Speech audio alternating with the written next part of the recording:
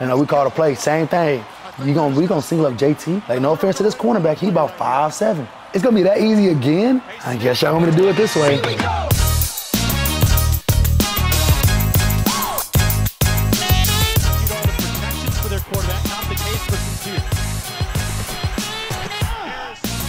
So they told us um, you can get rim check.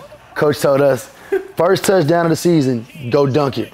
I don't know why the Alamodome goalposts are high. I don't know why they are pretty high. When you see Carlos try to go dunk it, he got rim check. Everybody laughing, but I'm just sitting in the pocket. I got flushed out, and I see him in the back of the end zone.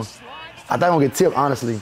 Uh, Carlos was gonna catch it, and we just laughing because he got rim checked. We like, bro, what do you do? You should have just finger rolled it or something. You knew he wasn't high enough.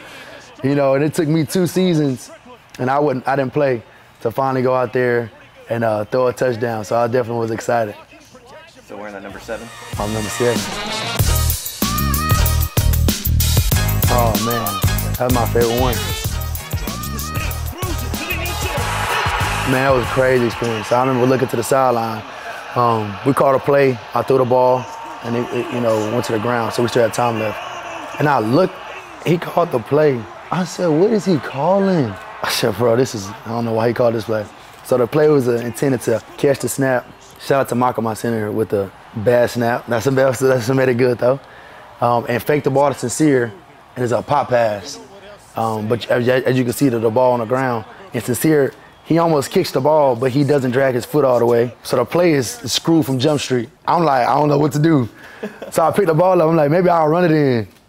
But then he come up to me, and I luckily see Oscar back in the end zone. I'm like, oh my gosh, I'm scared. I want to overthrow him.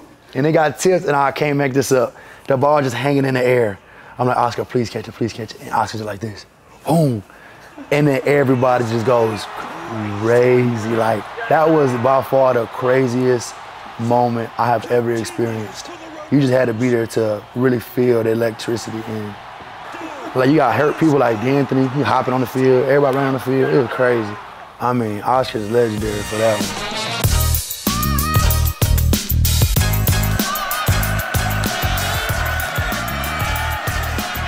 I mean, what are we, like, you gonna try to single JT?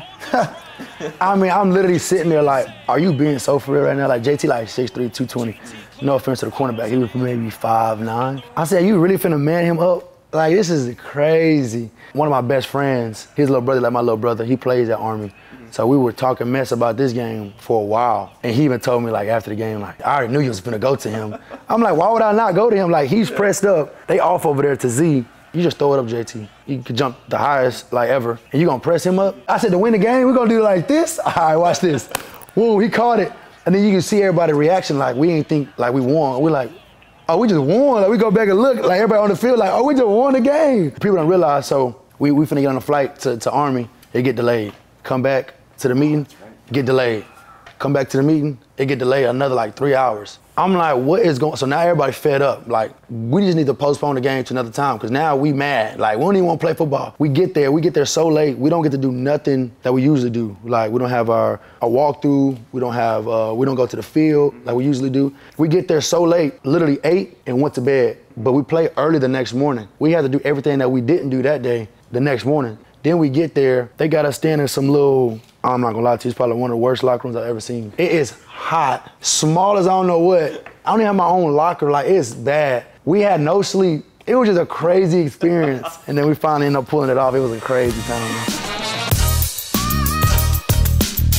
Second and 10. Harris off the fake, makes a move. Inside the 10, leaps over a defender, gets to the corner, into the end zone. Yeah, so this play right here was it was designed like an RPO. I sent him in motion. If I pull it, I can throw it to JT. I pulled it and he ran with him. So I'm like, I'm kind of screwed. So I cut back and I was like, oh, it's open. And then I just seen dude go low. I don't even like jumping over people for real. I did it in high school a lot, but I don't like getting tackle low either. So I see them go low to lunge at me. Instinctually, I just jumped. I didn't think it was that big of a deal, if I'm being honest. I'm not even trying to be humble. I just, I mean, but you go to the sideline, my teammates are like boosting me up like I just did like a Jordan free throw line dunk or something. It was pretty cool though, but yeah, that's what happened with that play.